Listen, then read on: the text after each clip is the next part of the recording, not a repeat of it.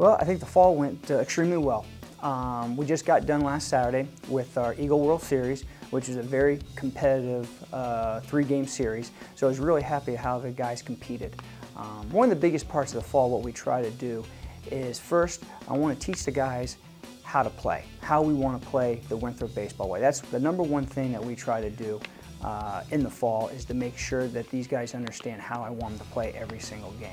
Then the second part of it is we want to insulate our system. If, if we can install everything that we have with our program, we're going to be a lot better off. And I think we accomplished that. We, we installed most of our first and third defenses, our bunt defenses, our picks, uh, our cutoffs and relays, everything that goes into a game. So I was, I was very happy about where we were as far as the installation of our system at this point right now. Well, we had a couple young men, a couple of newcomers um, that did really stand out for me. Uh, Kyle Edwards, a, a, freshman middle infielder, had a, had a fabulous fall. Um, the uh, uh, junior college right-hander Michael Green threw extremely well. Um, those two guys really uh, took a jump for me.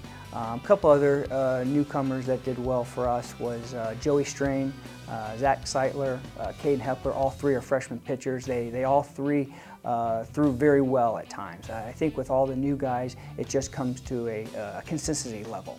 Our returners came back in great shape. Uh, I was very proud about how they came back. Uh, our three starters from last year, uh, Tyler Klitsch, Eric Ruth, Matt Pierpont, all threw extremely well.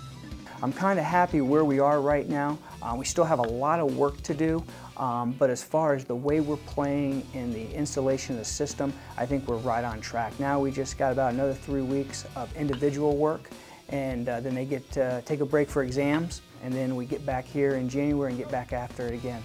We all have something to prove. Um, I think all the guys are focused. Uh, we've done some things with mental conditioning uh, in the fall that I think a lot of the guys have really taken to and I think it's going to really help us to be the most successful program we can be uh, this coming up year.